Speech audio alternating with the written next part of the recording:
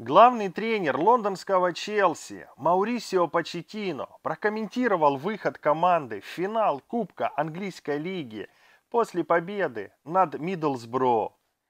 Я очень хочу выиграть титул. За полтора года в Париже я выиграл три и очень хочу выиграть титул с Челси. С определенной точки зрения это удивительное достижение.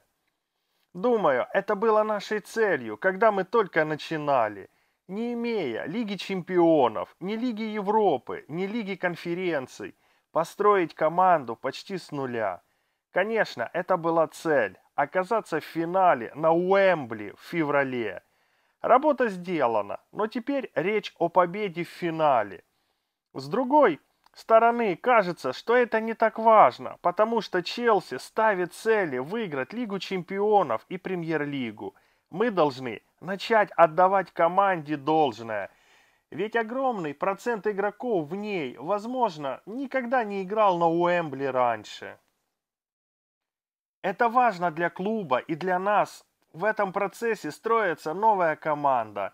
Мы заслужили это, и нам нужно верить в победу в финале. Дела идут великолепно. Я не могу жаловаться. Просто люди должны нам доверять. У нас молодая команда, нам нужно расти. Менталитет очень хороший, только дайте нам время. Мы строим новый проект, совершенствуемся. Я правда счастлив. Вы сегодня увидели, как моя команда играла с Миддлсбро.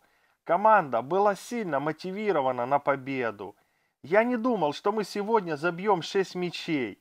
В матче получилось все – Рад, что молодежь начинает играть взрослый футбол.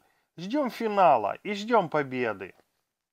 Друзья, напишите в комментариях, какие вы испытываете эмоции от сокрушительной победы Челси над Миддлсбро. Ставьте лайк, подписывайтесь на канал и нажимайте на колокольчик.